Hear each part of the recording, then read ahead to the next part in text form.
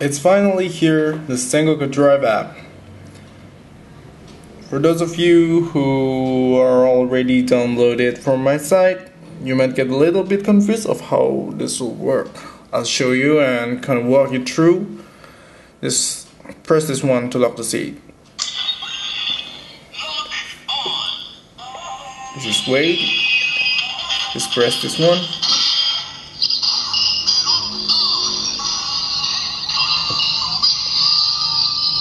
Okay, for the attack sound like something like this.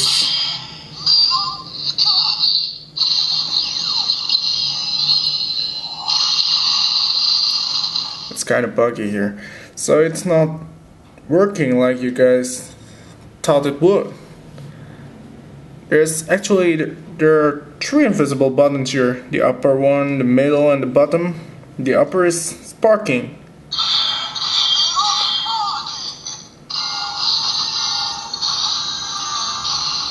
And the middle one was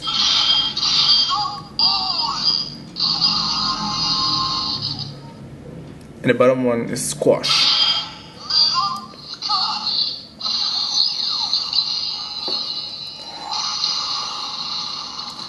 So don't get confused. If you want to go to the engine again, just tap the lock and lock it again. Just like that.